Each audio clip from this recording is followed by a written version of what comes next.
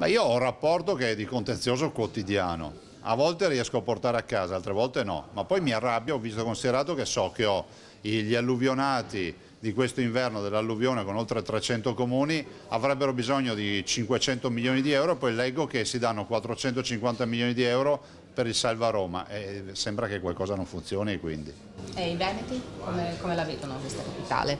Questo Beh, i Veneti molto male, molto male e infatti il fatto di trascurare questo sentimento a livello veneto, di non pensare che i Veneti comunque sono persone che conoscono eh, il mondo, hanno internazionalizzato le loro imprese, hanno rapporti con il mondo intero e fanno capire che l'ufficio complicazioni e affari semplici non ci va bene. Se dovesse nascere questa nuova, non lo so, repubblica, questo nuovo Stato, cioè come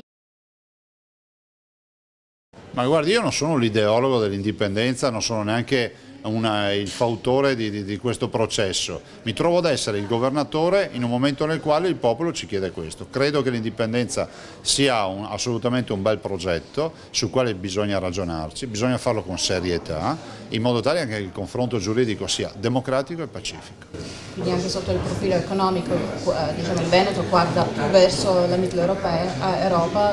Ma c'è già di fatto in Mitteleuropa, c'è già con i rapporti commerciali, con i rapporti in generale anche identitariamente mitteleuropeo, no? noi avevamo il catasto austriaco tanto per dire, è di una Repubblica Veneta che ci ha portato un sacco di cultura in questo senso, direi che è fondamentale e vedere questi progetti non come la volontà di essere ancora più egoisti, ma la volontà anche di fare in modo che il tuo popolo abbia risposte ai quesiti che ti dà.